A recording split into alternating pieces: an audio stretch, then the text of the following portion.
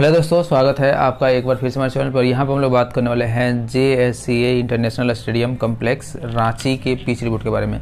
तो अगर हम लोग रांची की बात करते हैं तो रांची में आपको देखने को मिलता है कि अगर कोई भी सीरीज़ हो तो टी ट्वेंटी या ओडीआई उसमें से एक मैसेज जो है यहाँ पे होता ही है। तो अब हम लोग बात करते हैं कि रांची में अगर हम लोग बात करते हैं, किस तरीके का जो है पीच आपको देखने को मिल सकता है तो अभी तक जिस तरह का सीनरियो आपको देखने को मिला है रांची में, उसके हिसाब से आप देखोगे तो यहाँ पे एक अलग सीनरियो जो हो दिखाई देता है, जो कि बाकी अलग जगह का जो ग्राउंड होता है ना, उसी कंपेयर में थोड़ा सा जो है यहाँ पे अलग तरीके का पिच जो हो दिखाई देता है।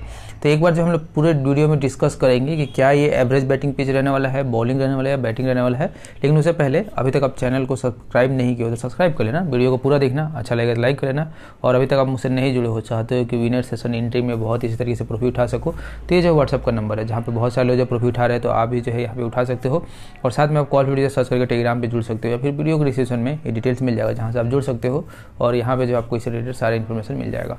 सबसे पहले हम लोग बात करते हैं यहाँ पे तो आपको देखने मिलेगा कि अगर बात करते हो तो ये जो है झारखंड का जो है वो होम ग्राउंड है, और रांची जो है इसकी लोकेशन है। इसके अलावा इस ग्राउंड की बात करते हैं तो पिच जो है वो फ़र्स्ट इनिंग में बहुत ही अच्छे तरीके से बैटिंग की तरफ़ बिहेव करते हुए नज़र आता है। यानी कि फ़र्स्ट इनिंग में यहाँ पे काफ़ी अच्छे तरीके से वो रन बनता है, चाहे वो ओडीआई के मैचेज हो या फिर टी ट्वेंटी के मैचेज हो। लेकिन जैसे जैसे जो है गेम यहाँ पे प्रोसेस होते जाता है, यानी कि आगे बढ़ते जाता है तो वैसे सिनेरियो में हमें क्या देखने को मिलता है कि यहाँ पे जो बैटिंग हो रहा था, उसका वजह था कि क्या हो रहा था कि जो बॉल जो है ना, बहुत ही अच्छे तरीके से बाउंस करके विकेट पे आता है। लेकिन जैसे जैसे मैचेज होते जाता है तो जो बॉल वहाँ पे बाउंस है, वो थोड़ा सा कम होते जाता है और पीछे जो है वो ड्राई पड़ते जाती है। तो ड्राइव पड़ने के कारण पीछे क्या होता है कि वहाँ पे धीरे धीरे स्पिनर को बेनिफिट होना जो है शुरू हो जाता है। अगर शाम के टाइम पे ड्यू ना रहा ड्यू ना रहा, इस चीज़ का ध्यान रखना है कि ड्यू ना रहा तो वैसे सिनेरियो में आपको देखने को मिल सकता है कि यहाँ पे बहुत ही अच्छे तरीके से इम्पैक्टफुल तरीके से स्पिनर को जो है मदद मिलते हुए आपको यहाँ पे नज़र आएगा।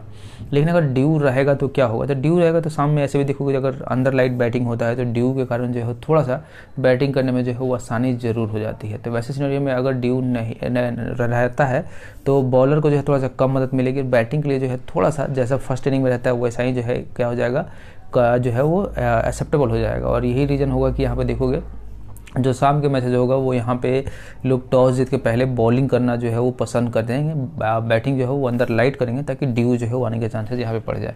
लेकिन अगर ड्राई रहेगा तो क्या होगा? अगर पीछे जो है वो ड्राई रहती है और ड्यू नहीं आता है तो वैसे सिनेरियो में जो है आपको देखने को मिलेगा कि यहाँ पे स्पिनर बहुत ज़्यादा इम्पैक्टफुल हो जाएगा। तो ये आप कहोगे ना कि दो तरफा गेम है। एक तरफ़ रिस्क भी है सेकंड बैट करने में और एक तरफ़ जो है वो आपको आ, आसानी भी होगी सेकेंड बैट करने में। तो ये सिनेरियो जो है आपको यहाँ पे देखना पड़ेगा उसका सिनेरियो जो है कैसा रहता है। और रिसेंट में यहाँ पे जो भी मैचेज हुआ है वो उन मैचों के हिसाब से जो है हमने यही पे देखा है कि अगर ड्यू रहता है तो बाद में जो है उतना ज़्यादा मदद नहीं मिलता है बॉलर को। लेकिन अगर ड्यू नहीं रहता अगर पचास ओवर के गेम में भी देखोगे ना तो शुरुआत में आपको जो है शुरुआत के दस पंद्रह बीस ओवर देखोगे बहुत इसी तरीके से बैटिंग होता है। लेकिन जैसे जैसे आधा मैच जब बीत जाता है किसी भी इनिंग का तो देखो वहाँ पीछे ड्राई पड़ने लगती है, फटने लगती है रांची में।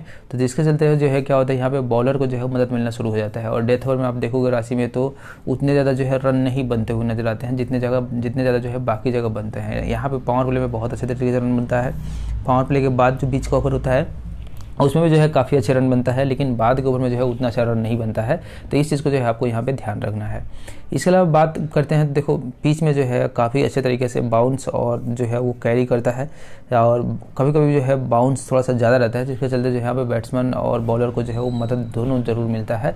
कभी कभी बाउंस ज़्यादा होता है तो वैसे सिनेरियो में जो है यहाँ पे बैटिंग करना जो है बॉलर्स बैट्समैन के लिए थोड़ा सा मुश्किल भी हो जाता है। तो वैसे सिनेरियो में भी जो है यहाँ पे फास्ट बॉलर को जो मदद मिल सकता है। अब लोग बात करते हैं, देखो पिच जो है वो जैसे जैसे यहाँ पे मैसेज होते जाता है। कोई भी आप पिच देखोगे ना तो जैसे जैसे आजकल आजकल ये सीनरियो हो गया है कि जहाँ पे भी कई मैचेज हो रहा है ना तो धीरे धीरे जब मैचेज क्या होता है, जैसे जैसे होते जाता है पिच स्लो पड़ते जाता है। और ऐसे पीछे जो है, कहीं भी आप देख लो तो स्लो जो है, वो पड़ने का मेन रीज़न ये होता है कि जो मिट्टी है ना, वो ड्राई पड़ जाती है। ड्राई पड़ने के कारण क्या होता है कि बॉल जैसे शुरुआत में क्या रहता है कि रोलिंग बहुत अच्छे तरीके से किया जाता है, और उस रोलिंग के चलते क्या होता है, जैसे बॉल पड़ता है तो बाउंस बहुत ही अच्छा तरीके से आता है। लेकिन बाद में क्या होता है कि जैसे ये रोलिंग पड़ बाद में बॉलें जब इस पर पड़ते रहते हैं तो बॉलिंग पड़ने के चलते क्या होता है ना कि बाद में जो रोलिंग हुआ रहता है, वो धीरे धीरे जो है गायब हो जाता है, और पीछे जो है ना लूज पड़ जाती है। लूज पड़ने की वजह से क्या होता है कि फटने लगती है और फटने की वजह से बाउंड जो है थोड़ा सा कम हो जाता है। तो इस चीज़ को जो है आपको यहाँ पे ध्यान रखना है। इसलिए बात करते हैं तो बाउंड्री जो है यहाँ के इतने बड़े भी नहीं है कि आपको जो है बाउंड्री लगते हुए ना नज़र आए। आउटफील्ड आप देखोगे तो ऐसा नहीं है कि तेज़ नहीं है। आउटफील्ड यहाँ पे तेज़ देखने को मिलता है, क्योंकि वैसे भी आप राशि वाला इलाका देखोगे तो अधिकतर जो है आपको पहाड़ी वाला इलाका ही जो है वो दिखाई देगा।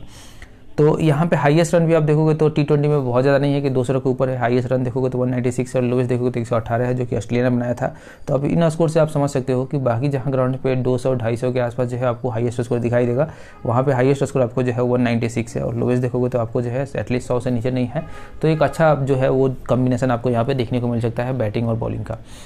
स्टेट्स की बात करते हैं तो रिसेंट तीन तीन टी ट्वेंटी मैचेज हुए हैं, जिनमें से आप देखोगे तो आपको जो है तीन फ़र्स्ट बैच जीता है तीन मैचेस में से एक फ़र्स्ट बैच जीता है, दो सेकंड में जीता है फ़र्स्ट बैट एवरेज देखोगे तो 156 है, जो कि ठीक ठाक एवरेज है। आप यहाँ पे कह सकते हो कि अगर इस एवरेज के आसपास रन लगता है तो चेसिंग होने का चांसेस जो है बहुत ही तरीके से बढ़ जाता है। इसके अलावा बात करते हैं यहाँ पे स्कोरिंग पैटर्न की तो आप देखोगे, तीन मैचों में एक जो है 150 बना था, जो कि लोएस्ट है, एक एक बना था, जो कि हाईएस्ट है, और एक जो है वो 150 से 170 के बीच में जो है वो आपको स्कोर बने हुए नज़र आता है। डोमेस्टिक मैचों की बात करते हैं तो आईपीएल के बहुत ज़्यादा मैचेज जो है यहाँ पे होते नहीं है, क्योंकि आईपीएल के जो है सबके अपने अपने ग्राउंड है तो बाकी जगह प्रीफर होता नहीं है मैचेज लेकिन यहाँ पे जो है सात मैचेज आईपीएल के हुए, जिनमें आप देखोगे तो फ़र्स्ट बेट आपको जो है वो दो दिखाई देगा, पाँच सेकंड मैच आपको जो है पाँच दिखाई देगा। और फ़र्स्ट बेट एवरेज आप देख सकते हो कि वन के आसपास है, जो कि एक ठीक ठाक एवरेज है आप कह सकते हो कि यहाँ पे आपको देखने को मिलेगा। आईपीएल में भी आप हाइएस्ट देखोगे रिसेंट सात मैचों में तो आप देखोगे तो यहाँ पे चेन्नई के जो है वो एक मैचेज है एक सौ पचासी हाइएस्ट है और आरसीबी के जो है एक सौ पंद्रह यहाँ पे लोएस्ट है। और स्कोरिंग पैटर्न में भी आप देखोगे तो आपको देखने मिलेगा कि एक सौ पचास से नीचे जो है यहाँ पे पाँच स्कोर है और यही रीज़न है कि यहाँ पे मैचेज ज़्यादा जो है वो चेस हुए हैं क्योंकि यहाँ पे जैसे जैसे जो है पीछे थोड़ा सा ड्राई पड़ते जाता है तो यहाँ पे बैटिंग करना थोड़ा सा मुश्किल हो जाता है और अंदर लाइट जब ड्यू आता है तो बैटिंग करना थोड़ा सा आसान हो जाता है। इस नरी में जो आपको यहाँ पे देखने को मिलेगा। और उसके अलावा देखोगे दो स्कोर जो है आपको एक सौ सत्तर से नब्बे के बीच में देखने को मिलेगा। तो होप्सो की वीडियो जो है आपको अच्छा लगा होगा। अच्छा लगा तो लाइक ज़रूर करना। चैनल को सब्सक्राइब कर लेना और अभी तक आप मुझसे नहीं जुड़े होती है जो है व्हाट्सअप का नंबर है जहाँ पे आपको जुड़ जाना है। साथ में आप कॉल वीडियो सर्च करके टेलीग्राम पर जुड़ सकते हो फिर वीडियो डिस्क्रिप्शन में डिटेल्स मिल जाएगा जहाँ से आप जुड़ सकते हो और बहुत अच्छे तरीके से प्रॉफिट उठाने की जो जर्नी है, आप शुरुआत कर सकते हो। तो मिलते हैं आपसे अगली वीडियो में। तब तक के लिए धन्यवाद।